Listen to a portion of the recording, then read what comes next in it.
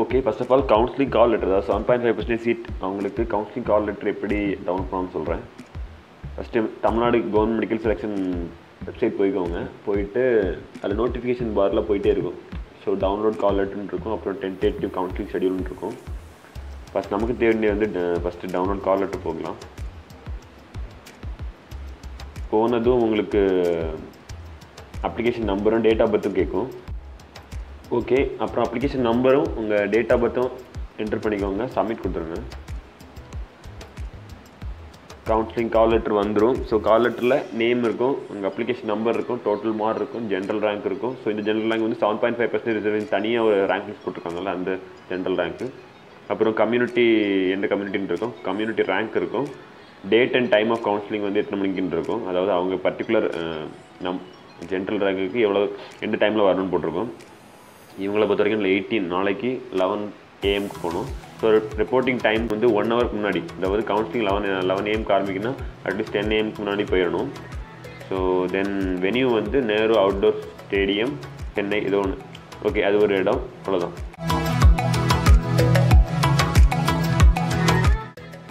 தென் tentative counselling schedule பார்த்தீங்கன்னா so download call லெட்டருக்கு ரெண்டாவது கீழே இருக்கும். ஸோ அதை கிளிக் பண்ணிங்கன்னா உள்ளே போயிடும் டவுன்லோட் ஆகும்.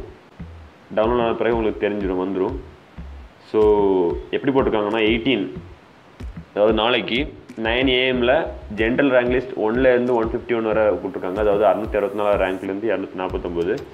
தென் லெவன் ஏஎம்க்கு ஒன் ஃபிஃப்டி டூலேருந்து டூ சிக்ஸ்டி செவன் தென் நாளைக்கு நாளை கழிச்சு அதாவது நைன்டீனில் நைன் ஏஎம்க்கு தனியாக லெவன் ஏஎம்க்கு தனியாக டூ பிஎம்க்கு தனியாக இரநூத்தி அறுபத்தெட்டுலேருந்து நானூற்றி இருபத்தி மூணு அப்புறம் நானூற்றி இருபத்தி நாலுலேருந்து ஐநூற்றி இருபத்தாறு தென் ஐநூற்றி இருபத்தி ஏழுலேருந்து அறுநூற்றி முப்பத்தி மூணு. ஸோ ரேங்க் மார்க்கும் சைடில் இருக்குது. அதே மாதிரி டுவெண்ட்டி ஃப்ரைடே அன்னைக்கு அன்னைக்கும் அதே மாதிரி மூணு ஷெடியூல் போட்டு கொடுத்துருக்காங்க உங்கள் மார்க் உங்கள் ரேங்க் எதுவோ ஜென்ரல் ரேங்க் எதுவோ அந்த டைமுக்கு நீங்கள் போயிடணும் இது வந்து ஆல்ரெடி உங்களுக்கு இதுலேயே இருக்கும். இந்த கவுன்சிலிங் கால் லெட்டர்லேயே இருக்கும். அதாவது டாக்குமெண்ட்ஸ் எல்லாம் கொண்டு போகணும்னா கம்பல்சரி இதில் உள்ள ஒரிஜினல் சர்டிஃபிகேட்ஸ் கொண்டு போகணும். உங்கள் NEET UG admit card score card tenth certificate twelfth certificate eleventh certificate இது மூணு then bonafide certificate from sixth twelfth standard studied in Tamil Nadu government school obtain from concern CEO ஓகேவா சிஓட்டேருந்து நீங்கள் Tamil Nadu government ஸ்கூலில் தான் படிச்சிருப்பீங்கன்னு ஒரு சர்டிஃபிகேட் வாங்கியிருப்பீங்க போனஃபைட் சர்டிஃபிகேட் ஸோ அதை நீங்கள் கொண்டு போகணும். தென் ட்ரான்ஸ்ஃபர் சர்டிஃபிகேட் கொண்டு போகணும். Native certificate community certificate first graduate certificate if நீங்கள் வச்சிருந்தீங்கன்னா கொண்டு போங்க. பட் ஃபஸ்ட் கிராஜுவேட் சர்டிஃபிகேட் கொண்டு போட்டாலும் பிரச்சனை இல்லை. நீங்கள் காலேஜில் போய் க்ளைம் பண்ணிக்கலாம். தென் இன்கம் சர்டிஃபிகேட் உங்களுக்கு எஸ்சி ஸ்டூடெண்ட்ஸ்க்கெல்லாம் என்னது? Fees claim fees exemption claim பண்ணுவாங்க. ஸோ அதுக்கு வேண்டிய இன்கம் சர்டிஃபிகேட் நீங்கள் கொண்டு போகணும். சப்போஸ் நீங்கள் டூ பாயிண்ட் ஃபைவ் லேக்கு கீழே இருந்தீங்கன்னா அதுக்கு நான் என்னென்னு சொல்கிறேன் தென் பேரண்ட் டாக்குமெண்ட்ஸ் வந்து மூணு டாக்குமெண்ட்ஸ் எஸ்பெஷலி என்ன தேவைன்னா பேரண்ட்ஸ் படிச்சிருப்பாங்கல்ல இப்போ அவங்க டென்த் படிச்சிருப்பாங்க டுவெல்த் படிச்சிருப்பாங்க ஒரு வேளை டிகிரி படிச்சிருப்பாங்க. ஸோ மூணுக்கும் ஏதாவது ஒன்று கொண்டு போனால் போதும். டென்த்து அல்லது டுவெல்த்து அல்லது degree certificate then parents community certificate either அப்பாக்குள்ளது இல்லை அம்மாக்குள்ளது. மேலே அப்படி தான் எதர் அப்பாக்குள்ளது இல்லை அம்மாக்குள்ளது. ஏதாவது ஒன்று கொண்டு போகணும். தென் பேரண்ட்ஸ் டாக்குமெண்ட் ஏதாவது உங்கள் Aadhaar card ration card driving licence ஏதாவது ஒன்று அதுவும் எய்தர் ஃபாதர் அல்லது மதர் அவங்க தான் ஓகேவா இதெல்லாம் பெருசாக இல்லை. இதுதான் நமக்கு தேவைப்படும். எம்பிபிஎஸ் நீங்கள் போவீங்கன்னா ஓசி பிசி பிசிஎம் எம்பிசி இதே தான் நீங்கள் நார்மலுக்கும் வரும். அதாவது seven point five percent reservation தான் வரும். நார்மலுக்கும் அவங்க இப்படி தான் வரும். நார்மல் பீப்புள் அவங்க நார்மல் ரேங்க் ஜென்ரல் ரேங்க் இருக்குல்ல நம்ம அதுக்கு அவங்க இப்படி தான் வரும்.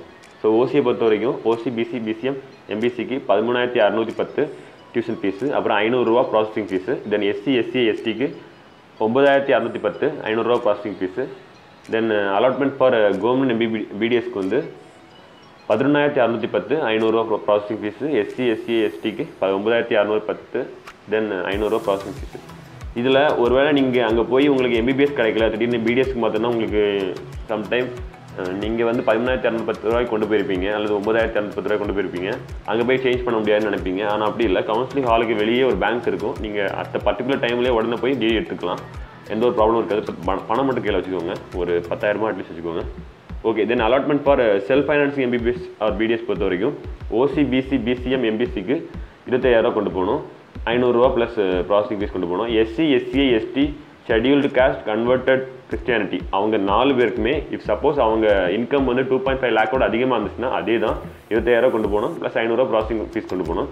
இஃப் சப்போஸ் அவங்க SC SCA ST scheduled caste converted Christianity அவங்க மூணு நாலு பேருக்குமே இன்கம் வந்து டூ பாயிண்ட் ஃபைவ் லேக்கோட கம்மியாக இருந்துச்சுன்னா அவங்களுக்கு வந்து இருபத்தாயிரரூவா கொண்டு போட்டு தேவையில்லை.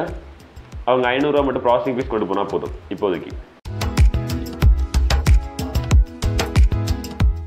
ஓகே கடைசியாக seven point five percentage horizontal reservation cut off and seat matrix seat matrix பொறுத்த வரைக்கும் செவன் பாயிண்ட் ஃபைவ் பர்சன்டேஜ் ரிசர்வேஷனுங்கிறது தேர்ட்டி ஒன் பர்சன்டேஜ் ஓசி சீட்டில் எதுவுமே அவங்க கான்ட்ரிபியூட் பண்ண முடியாது. சிக்ஸ்டி நைன் பர்சன்டேஜ் ரிசர்வேஷன் சீட்ஸில் இருந்து seven point five percentage seats வந்து கவர்மெண்ட் கூட ஸ்டூடெண்ட்ஸுக்கு போயிடும் சப்போஸ் ஓசிக்கு வந்து ஐ மீன் பிசிக்கு வந்து twenty six point five percentage seats அதில் வந்து இப்போ ஒரு எழுநூற்றி முப்பது சீட்ஸ் இருக்குதுன்னா அந்த எழுநூற்றி முப்பதுலேருந்து seven point five percentage seats வந்து நம்ம கவர்மெண்ட் ஸ்கூல் ஸ்டூடெண்ட்ஸுக்கு போயிடும் அப்படி பார்த்தீங்கன்னா கவர்மெண்ட் காலேஜை பொறுத்த வரைக்கும் ஓசியில் இரநூத்தி அறுபத்தொரு சீட் இருக்குது. ஸோ அதில் கான்ட்ரிபியூட் பண்ண முடியாது. கேன் ஆல்சோ கம்ப்ளீட் தான் பண்ண முடியும். செவன் தேர்ட்டி எயிட் சீட்ஸ் வந்து பிசியில் இருக்குது. அதில் ஐம்பத்தாறு சீட்ஸ் ஹர்சன் ரிசர்வேஷன் தொண்ணூத்தெட்டு பிசிஎம் ஏழு சீட் வந்து கவர்மெண்ட் ஸ்கூல் ஸ்டூடெண்ட்ஸ் ஐம்பத் ஐநூற்றி ஐம்பத்தி ஏழு நாற்பத்தி ரெண்டு வந்து எம்பிசிலேருந்து கவர்மெண்ட் ஸ்கூல் ஸ்டூடெண்ட்ஸுக்கு போகுது. அப்புறம் எஸ்சி எஸ்சிலேருந்து முப்பத்தோரு ஸ்டூடெண்ட் முப்பத்தோரு சீட்ஸ் வந்து கவர்மெண்ட் ஸ்கூல் ஸ்டூடெண்ட்ஸுக்கு போகுது. எஸ்சி ஏலேருந்து ஏழு சீட்ஸ் போகுது. எஸ் எஸ்டியிலேருந்து ரெண்டு சீட்ஸ் போகுது. டோட்டலாக கவர்மெண்ட் காலேஜிலேருந்து நூற்றி நாற்பத்தஞ்சு சீட் அதாவது டோட்டல் ரெண்டாயிரத்தி எழுநூற்றி எண்பத்தி நாலு சீட்ஸ்லேருந்து நூற்றி நாற்பத்தஞ்சு சீட்ஸ் வந்து கவர்மெண்ட் ஸ்கூல் ஸ்டூடெண்ட்ஸுக்கு போகுது. அதே மாதிரி தான் செமி கவர்மெண்ட் காலேஜ்லேயும் total state government state government quota seats அதாவது அது செமி கவர்மெண்ட் காலேஜ்லேருந்து ஸ்டேட் கவர்மெண்ட் கோட்டா கொடுக்கக்கூடிய சீட்ஸ் வந்து இரநூத்தி தொண்ணூற்றி ஏழு. அதுலேருந்து பதினஞ்சு சீட்ஸ் வந்து கவர்மெண்ட் ஸ்கூல் ஸ்டூடெண்ட்ஸுக்கு போகுது. ப்ரைவேட் காலேஜ் அதாவது கவர்மெண்ட் கோட்டான்ற ப்ரைவேட் காலேஜில் அதில் மொத்தமாக ஆயிரத்தி இரநூத்தி இரு ஆயிரத்தி இரநூத்தி ரெண்டு சீட்ஸ் இருக்குது. அதுலேருந்து அறுபத்தி மூணு சீட்ஸ் வந்து கவர்மெண்ட் ஸ்கூல் ஸ்டூடெண்ட்ஸுக்கு போகுது. அவ்வளோதான் ஓகே இதை பற்றி நீங்கள் கட் ஆஃப் கால்குலேஷன் நீங்கள் எப்படி பண்ணலாம்னா இப்போ கவர்மெண்ட் காலேஜ் பார்த்தீங்கன்னா ஐம்பத்தாறு இருக்குது ஓசிக்கு ஐம்பத்தாறு சீட்ஸ் இருக்குது. ஸோ நீங்கள் உங்களுக்கு செவன் பாயிண்ட் ஃபைவ் பர்சன்ட் ரிசர்வேஷனில் தனி ரேங்க் லிஸ்ட் போட்டிருப்பாங்க. அந்த ரேங்க் லிஸ்ட்டில் பிசியில் உங்களுக்கு ஐம்பத்தாறு கம்யூனிட்டி ரேங்க் இருந்துச்சுன்னா உங்களுக்கு கிடைக்கும். அது வரை கிடைக்கும். அதுக்கு அப்புறம் உள்ள பிசி ஸ்டூடெண்ட்ஸ் எல்லாம் எப்படி எடுப்பாங்கன்னா செமி கவர்மெண்ட் காலேஜ்லேருந்து ஒரு ஆறு சீட் இருக்குது. பிரைவேட் மெடிக்கல் காலேஜில் கவர்மெண்ட் கோட்டை பிரைவேட் மெடிக்கல் காலேஜில் ஒரு ஐம்பது இருபத்தி நாலு சீட் இருக்குது. மொத்தமாக எண்பத்தாறு சீட் இருக்குது. ஓகேவா இதே மாதிரி தான் எல்லா கம்யூனிட்டிக்கும் ரேங்க் நீங்கள் பார்த்துக்கோங்க மார்க்கும் பார்த்துக்கோங்க. அவ்வளோதான் இப்போ சப்போஸ் உங்களுக்கு எதுவும் புரியலைன்னா டிஸ்கிரிப்ஷனில் ஒரு லிங்க் இருக்கும். லிங்க்கில் எல்லா டீட்டெயிலும் கிளியராக கொடுத்துருக்கேன். அந்த லிங்க் கிளிக் பண்ணி பார்த்துக்கோங்க. Okay bye